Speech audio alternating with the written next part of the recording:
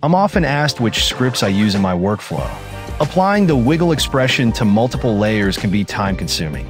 So I created an easy-to-use and multifunctional script with the help of ChatGPT.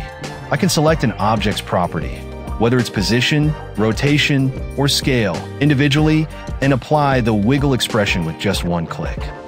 I can also select multiple layers and by indicating which property I want to apply the expression to, it's added with a single click.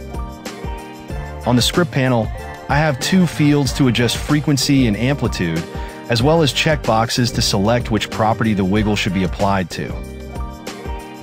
I've also added a field for entering PosterizeTime, as I sometimes use random movements with a stepped effect. There's a reset button as well, making it easier to return to the initial state. I created this script to be compact on screen and multifunctional. Enjoy!